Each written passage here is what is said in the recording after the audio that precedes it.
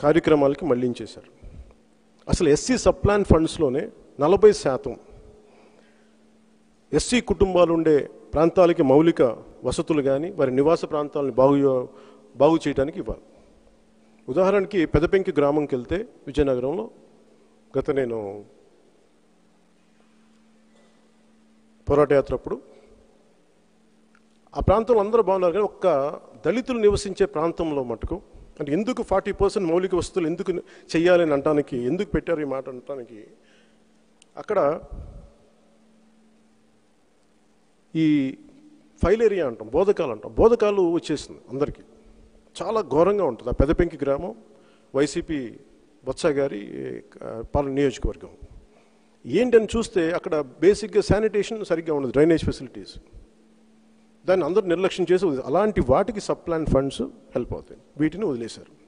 అలాగే నిజంగా వైసీపీకి ప్రేమే కనుకుంటే ఎస్సీ ఫార్మర్ సంబంధించి బోర్డుల పథకానికి బోర్డుల పథకాన్ని ఆపేశారు ఈ మూడు సంవత్సరాలు. రైతులు వాళ్ళ వాటా చెల్లించేశారు. కానీ దాన్ని అది ఆపేసి వాళ్ళు చెల్లించిన వాటాను తిరిగి వాళ్ళు అడిగితే వీళ్ళు డబ్బులు ఇవ్వలేదు వాళ్ళు పెట్టేశారు. ఈ రోజున అడిగితే మేము మూడు సంవత్సరాల తర్వాత చెల్లిస్తామని చెప్పి దాన్ని కూడా ఇలా చేశారు. అలాగే నేషన్ ఎస్ఐన్ భూముల్లో వాళ్ళ ఇళ్ళ స్థలాలకు అని చెప్పి పదకొండు వేల ఎకరాల ఎస్ఐన్ భూములు వైసీపీ లాగేసుకొని ఇళ్ళ స్థలాలు ఇచ్చారు. అలాగే ఎస్సీ డెవలప్మెంట్ కార్పొరేషన్ సంబంధించి ముఖ్యంగా ఎస్సీ యువతకు లాభయుక్త లాభసాటిగా ఉండేలాగా నా ఒక ఒక లోన్ ఇస్తారు. వారి ఉపాధి అవకాశాలకి ఒకటి ఒక లోన్ కూడా ఇవ్వలేదు ఈ రోజుకి. అలాగే ఏపీ ఎస్సీ యూత్కి సివిల్స్ గ్రూప్ వన్ చదవడానికి వాళ్ళు హైదరాబాద్కి కానీ లేదంటే ఢిల్లీ కానీ ఇలాంటి చోటకి వెళ్ళి ప్రిపేర్ అవ్వాలంటే ప్రభుత్వం వాళ్ళకి డబ్బులు పే చేస్తాయి వాళ్ళ ట్యూషన్స్కి. దాన్ని కూడా ఆఫ్ చేసేశారు. అలాగే జగనన్న వసతి వసతి దీవెన విద్యా దీవెన ఇలాంటి పీజీ విద్యార్థులకి ప్రభుత్వ విశ్వవిద్యాలయాలు తప్ప మిగతా వాటికి ఆపేశారు. దాంట్లో కూడా ఆ కన్వీనర్ కన్వీనర్ కోటాకే వీళ్ళు చేశారు. అలాగే అంబేద్కర్ విదేశీ విద్యా పథకం దాన్ని కూడా ఆపేశారు. అంటే ఇన్ని రకాలుగా ఇది ఈ విధంగా వాళ్ళకి రావాల్సిన ఎస్సీ కులాలకి రావాల్సిన పథకాలను వీళ్ళు ఇట్లా ఆపేస్తే ఇవి కాకుండా అసలు మా మీద వైసీపీ ప్రభుత్వంలో కీలక పా- ఇది విభాగమైన ముఖ్యంగా హోంశాఖ దాన్ని డీల్ చేసే ముఖ్యం మా హోంమంత్రి గారు. మా పేరు లాగటం. దానికి చెప్పబోయే ముందు నా సమాధానం చెప్పబోయేది మీరు ఏం చేశారో చెప్తాను. హోంమంత్రికే చెప్తున్నాను. డీజీపీ గారికి చెప్తున్నాను.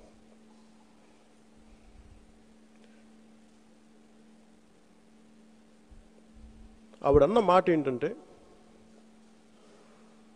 ఈ గొడవల వెనక జనసేనను మిగతా పార్టీలు ఉన్నాయని అన్నారు.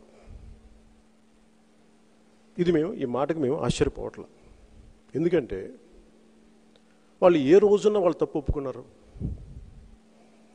ఒక ఆడబిడ్డ చాలా ప్రత్య అసలు ఊహించని పరిస్థితుల్లో మాన మర్యాదను కోల్పోతే కొంతమంది దుర్మార్గుల వల్ల దానికి ఆవిడ అన్న మాట తల్లి పెంపకంలో లోటండి. తల్లి పెంపకం సరిగ్గా లేకపోతే ఇలా జరుగుతుంది. అంటే ఒక మాన మర్యాద కోల్పోయిన ఆడబిడ్డకు కూడా తప్పు జరిగిపోయింది మేము సరిచేస్తాం అనే పదం దోషుల్ని పట్టుకుంటాం అనే పదం రాదు వాళ్ళ నోట్లో నుంచి. తల్లి పెంపకం తప్పు. అంటే ఇదే మాట వైసీపీ మంత్రులకు మేము అడుగుతున్నాను. నిర్భయ దిశ ఒక ఆరేళ్ళ బిడ్డ ఇలా రేపల్లిలో రైల్వే స్టేషన్లో కట్టుకున్న భర్త ముందు ఇంతమంది సామూహిక మానభంగం చేసిన ఇలాంటి కేసుల్లో దీనికి కూడా ఎవరి తల్లి తల్లి పెంపకంలోపేనా అండి? ఒక ఆరేళ్ళ బిడ్డ కూడా అలాంటి అసలు ఊహించని పరిస్థితులకి లోనైతే ఒక కొంతమంది వల్ల ఒకటి వల్ల కావచ్చు. దానికి కూడా తల్లిదండ్రులు ప్రేమ లోప లోపం అండి దానికి కూడా. ఎస్సీలకి సంబంధించి అమరావతి రైతుల మీదే ఎస్సీ రైతుల చేతే ఎస్సీ రైతుల పైన ఎస్సీ ఎస్టీ అట్రాసిటీ యాక్ట్ పెట్టించారు. మన సామర్లకోట మున్సిపల్ ఎన్నికల్లో ఎస్సీ కులానికి చెందిన గిరీష్ బాబు ఆత్మహత్య చేసుకున్నాడు. వీళ్ళ వేధింపు ఎస్సీ వైసీపీ నాయకులు వేధింపులు భరించలేక.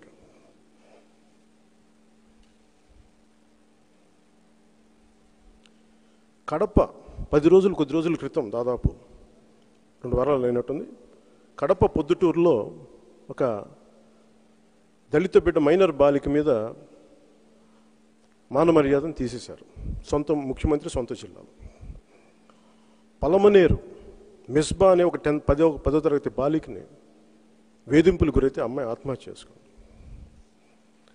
ఇదే వైజాగ్లో మంత్రి ఒక అధికారిని ఒక పోలీస్ అధికారిని కాకి చొక్కా వేసుకున్న అధికారిని కాలర్ పెట్టుకొని కొట్టిన అది అధికారిదే తప్పు. ఎస్ వాళ్ళది వైసీపీ నాయకులు అసలు తప్పు కాదు. ఒక కోర్టు హైకోర్టు కానీ ఏ కోర్టు లోయర్ కోర్ట్స్ కానీ సుప్రీం కోర్టు కానీ ఎవరైనా సరే వీళ్ళకి అగెయిన్స్ట్ ఒక జడ్జిమెంట్ ఇస్తే న్యాయమూర్తులు తప్పు. జడ్జిలది తప్పు. న్యాయమూర్తుల కుటుంబ సభ్యులు తప్ప వీళ్ళు తప్పు లేదు. ఉద్యోగస్తులు మాకు జీతాలు రావట్లేని రోడ్ల మీదకి వస్తే ఉద్యోగస్తులు తప్పు. అమరావతి రైతులు రోడ్ల మీదకి వచ్చి మాకు న్యాయం జరగట్లేదంటే మీరు ఇచ్చిన మాట వెనక్కి వెళ్ళిపోయారు మీరు ముందుకు తీసుకెళ్ళాలంటే అమరావతి రైతులు తప్పు. కరోనా సమయంలో నర్సీపట్నంలో డాక్టర్ సుధాకర్ కరోనాలో ప్రభుత్వం సరిగ్గా లేదు అని చెప్పి ఆయన మాట్లాడినందుకు ఆయన్ని మానసికంగా వేధించి వేధించి ఆయన్ని చిత్రవదలు మానసిక చిత్రవదలు చేసి ఆయన చనిపోయేలా చేశారు. మత్స్యపురిలో ఒక మా ఎస్సీ రిజర్వ్డ్ దీని నుంచి సర్పంచ్గా గెలిచిన మా మా ఆడబిడ్డని ఒక ఎస్సీ మహిళని మా మహిళని వేధించి వాళ్ళ ఇళ్ళ మీద దాడులు చేసి ఇల్లు కూల్చేశారు వైసీపీ నాయకులు.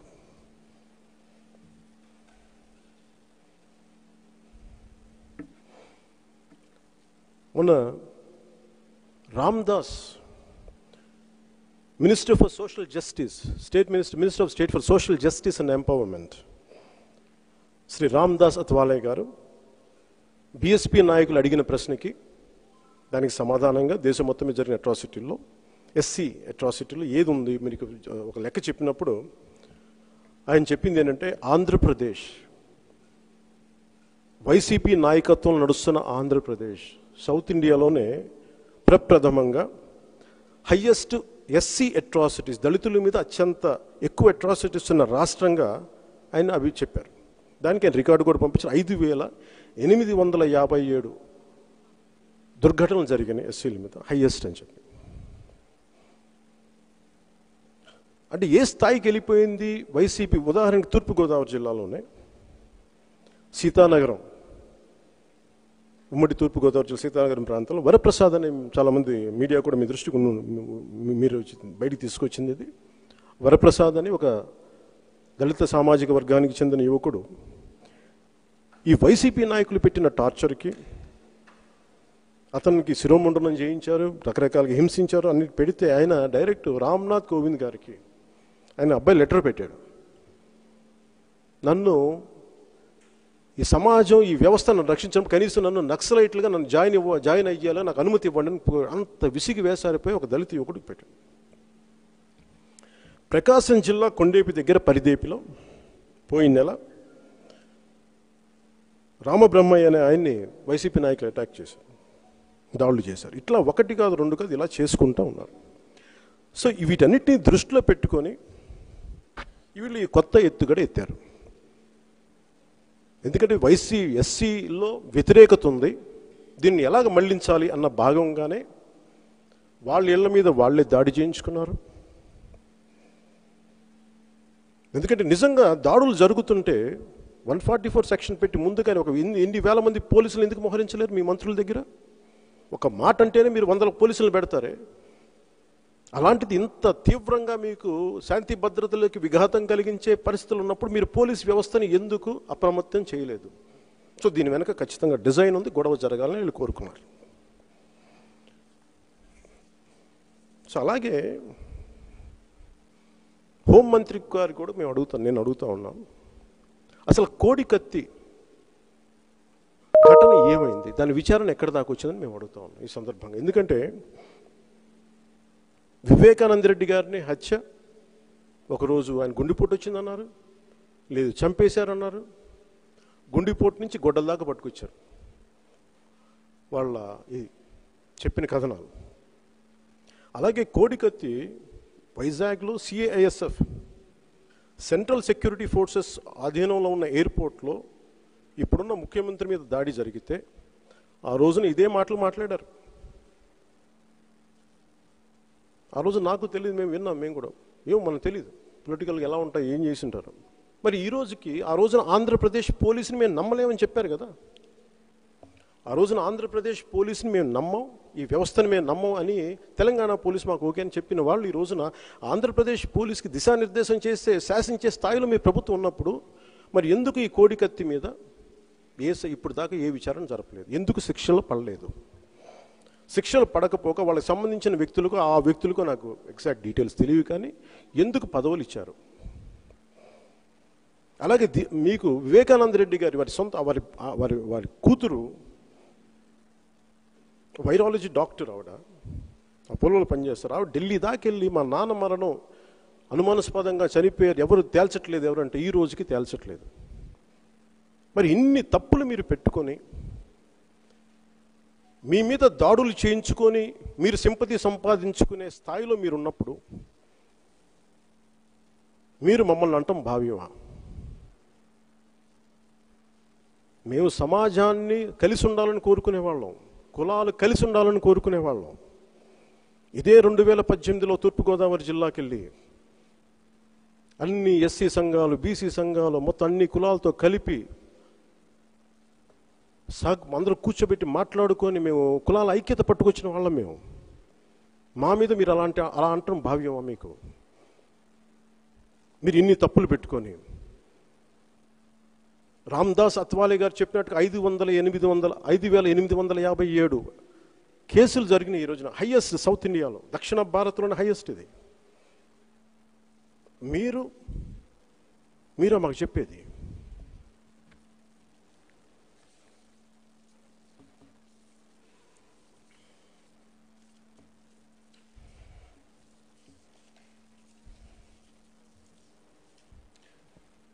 రోజున మేము ఒకటే కోరుకుంటా ఉన్నాం.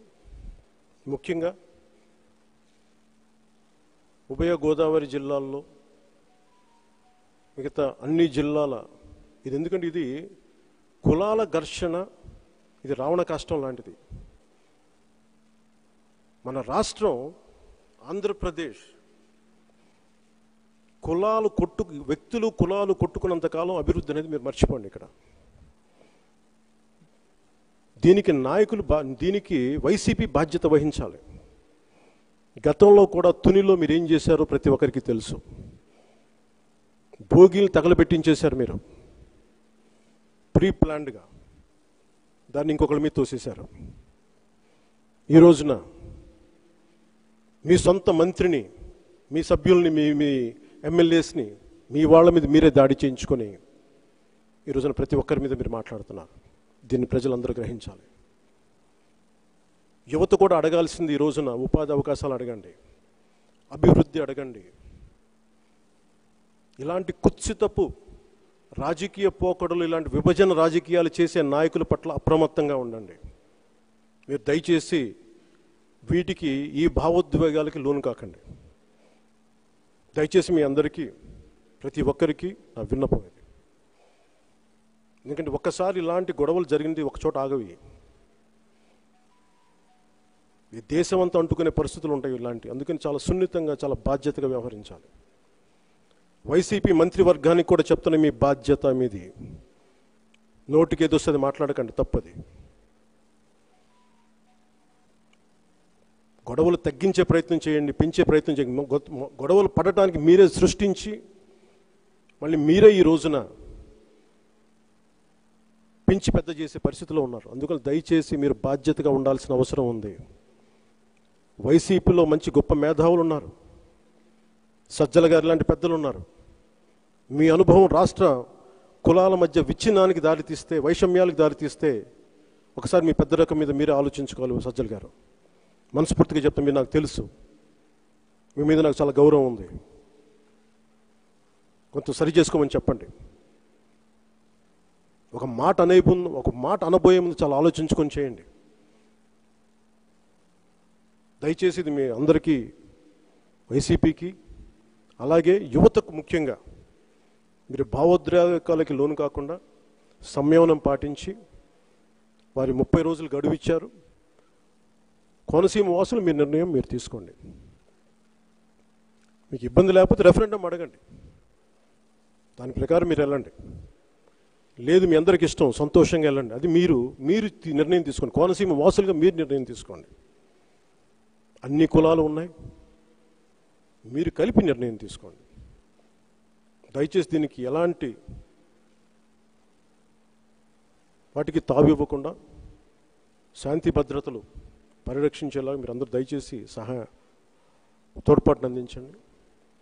అలాగే పోలీస్ శాఖ వారికి కూడా నా విన్నపం మీరందరూ ఐపీఎస్లు చదువుకున్న వ్యక్తులు సివిల్ సర్వీస్ ఐఏఎస్లు చదువుకున్న వ్యక్తులు మీరు పక్క నుండి రాజ్యాంగాన్ని భ్రష్టు పట్టించి తప్పుదోవ పట్టిస్తున్న వ్యక్తుల్ని మీరు ఏవి మాట్లాడకుండా కేవలం వారు చెప్పింది మీరు ఊకుడితే సమాజం ఇచ్చిన వైపు రేపొద్దున బాధ్యత మీరే వహించాల్సి వస్తుంది.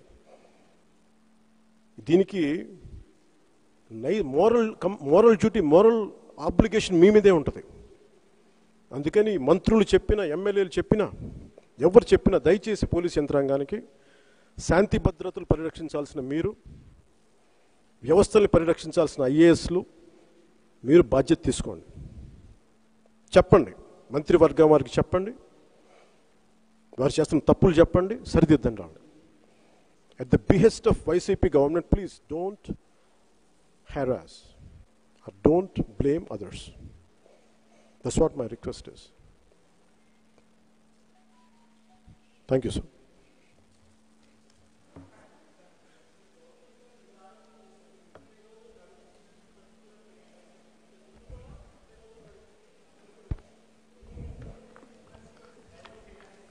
అవును సార్ ఒక టూ ఒక ఒక రోజే నలభై ఎనిమిది గంటలే కదండి. నలభై ఎనిమిది గంటల మించి లేదండి. అంతే. అంతేగా?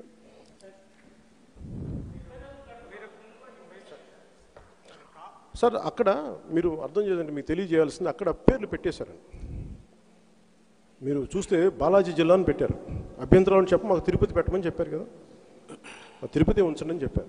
అలాగే మండలాల మీద గొడవ జరిగింది కానీ పేర్ల మీద గొడవ జరగలేదు మరి ఇక్కడ ఎందుకు జరిగింది ప్రత్యేకించి? దాన్ని మీరు ఆలోచించాలి సార్ మీరు కాపు ఒంటరి తెలగ బలిజ. కాపు ఒంటరి తెలగ బలిజ కులాలు పెద్దన పాత్ర వహించాలి. మిగతా కులాలను సమన్వయంతో ఒక అడుగు వెనక్కి వేసి అయినా సరే కలుపుకొని వెళ్ళాలని మీరు పిలుపునివ్వడం జరిగింది. అవును సార్. అయితే ఇప్పుడు అమలాపురం ఇష్యూలో చూస్తే మీరు చెప్పిన కులాలకు దళిత సంఘాలకు మధ్య కులాల గొడవ ఏర్పడే పరిస్థితి ఏర్పడింది. మీరు మీరు చెప్పినటువంటి సామాజిక వర్గాలకు మీరేం పిలుపిస్తారు నిన్న జరిగిన గొడవ ఒక కులానికి సంబంధించింది కాదు. అందుకే నేను పిలిపిస్తుంది ఒక కులానికి పిలిపివ్వట్లేదు ఈ రోజున. నేను పిలిపిస్తుంది కోనసీమ వాసులందరికీ పిలిపిస్తున్నాను. అందరూ సమయం సంయమనం పాటించమని చెప్పి. ఎందుకంటే నేను చెప్పేది అంబేద్కర్ గారు మహానుభావులు. ఆయనని పేరు పెట్టాలంటే అందరూ ఆహ్వానించే పరిస్థితుల్లో పెట్టి నిజంగా ఉంటే వీళ్ళు వెళ్ళి మాట్లాడాలి. ఎమ్మెల్యేస్ ఎవరైతే వారికి ఇబ్బంది లేదంటే ఒక ఒక అభ్యంతరాలను చెప్పారు. వాళ్ళ దగ్గరికి వెళ్ళి రీచ్ అవుట్ అయ్యి మాకు ఇది మేము ఇది పెట్టాను చెప్తే ప్రేమగా చెప్పి వివరిస్తే ఎందుకు వినరండి? వింటారు.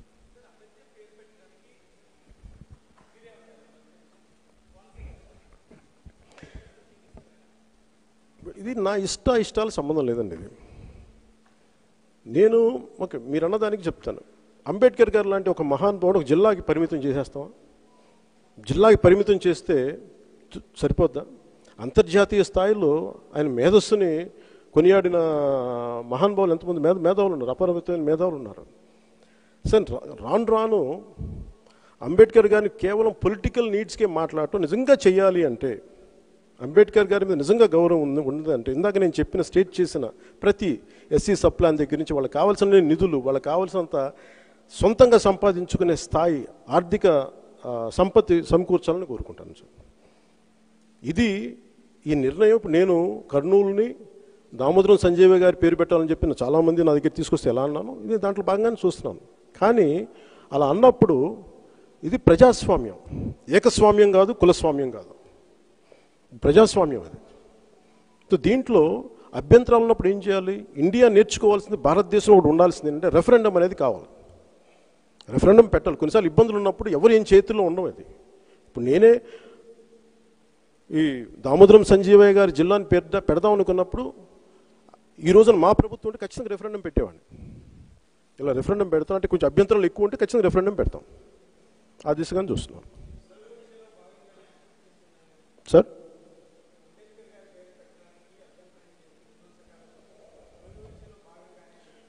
సార్ ఇప్పుడు కులాలు అనేవి కలవకూడదండి ఎప్పుడు. కొద్దిమంది రాజకీయ నాయకులకి కులాలు కలవకూడదు. ఎప్పుడు కలహించుకుంటూనే ఉండాలి గొడవలు పడుతూనే ఉండాలి. ఎందుకంటే వీళ్ళు గొడవ పడితే తప్ప వాళ్ళు పబ్బం గడవదు. నేను దాంట్లో భాగంగానే చూస్తున్నాను ఈ పని నిజంగా అసలు అంత టైం ఉందా ఈ రోజున యువతకి?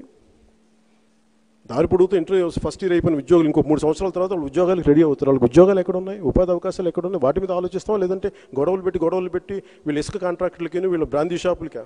ఇవన్నీ? లేదంటే వీళ్ళ డబ్బులు వీళ్ళ మైనింగ్ వ్యాపారాలకా? అంటే దీంట్లో ఇది ఖచ్చితంగా కులాల వివాదాలను సృష్టించి వాళ్ళ పబ్బం గడుపుకోవడం కింద చూస్తాను నేను ఎప్పుడైనా సరే దీన్ని.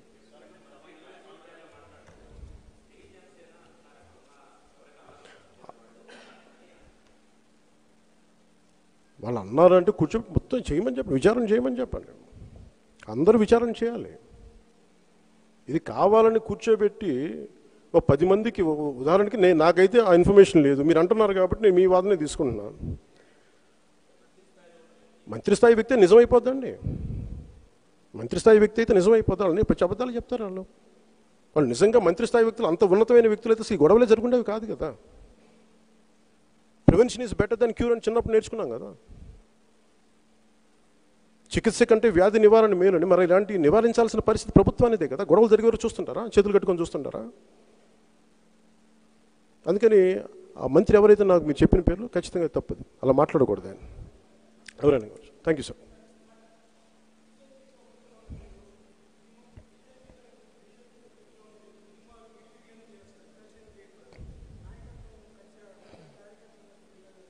ఏంటండి? సారీ నేను ఒక మైండ్ సెట్తో ఉన్నాను. మీరు బీజేపీ పట్టుకెళ్ళి చెప్పండి. చెప్పండి. ఎందుకు విడివిడిగా చేస్తామంటారా?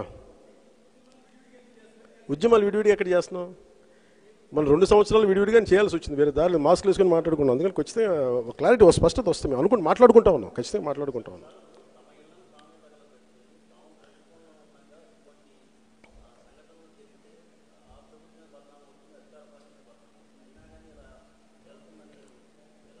ఒకసారి కొంతమంది ఉంటారు కదా సార్ చెట్టు మీద కూర్చొని కొమ్మలు నరికేసుకుంటుంటారు కదా వాళ్ళు కూర్చొని కొమ్మ చెట్టు మీద. అలాంటి పనులు చేస్తారు కదా. ఒకసారి ఏంటో అంటే ఈ బ్లైండ్ అంబిషన్ ఫర్ పవర్ వాళ్ళు ఊహించని చాలా అతి అతి తెలివితేటలు చేసే వ్యూహాలను వాళ్ళు ఇలా కూడా చేస్తారు కదా. ఇది అతి అతి వ్యూహం అనుకుంటాను సార్. Thank you sir